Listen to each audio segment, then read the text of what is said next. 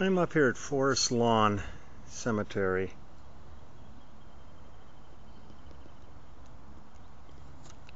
This is not meant to be any kind of morbid moment, but I know there's probably a lot of people that are curious about where Jeff is. Now, Jeff loved the study of the Civil War.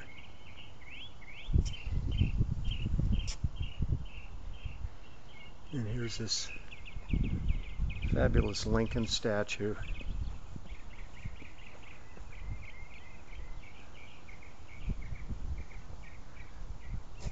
And mosaic murals of Lincoln's time.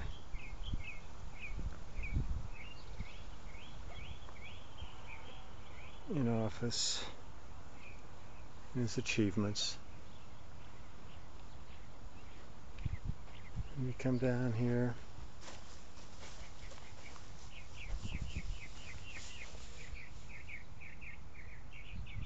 Here's where Jeff rests. I come here quite regularly just to kind of commiserate with him and tell him how much I absolutely miss him. He was one of the most special people I've ever known.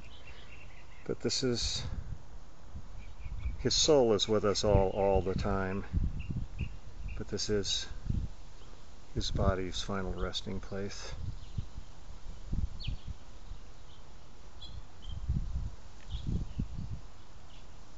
Pretty gorgeous setting.